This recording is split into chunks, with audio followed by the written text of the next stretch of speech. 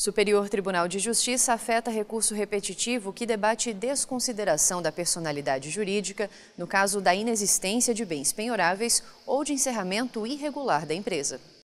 A segunda sessão do STJ afetou dois recursos especiais para serem julgados sob o rito dos recursos repetitivos e discutir a controvérsia cadastrada como tema 1210. A questão submetida a julgamento se refere ao cabimento ou não da desconsideração da personalidade jurídica no caso de mera inexistência de bens penhoráveis ou eventual encerramento irregular das atividades da empresa.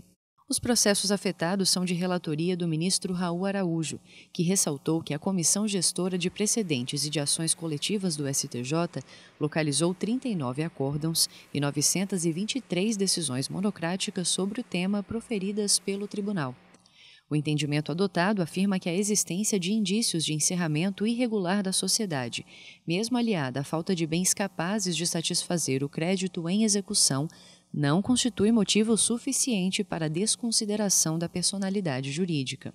De acordo com o ministro, a adoção de um precedente qualificado sobre o tema contribuirá para oferecer maior segurança jurídica e transparência na solução de questões semelhantes. Na decisão de afetação, o colegiado não suspendeu a tramitação dos processos sobre o mesmo assunto.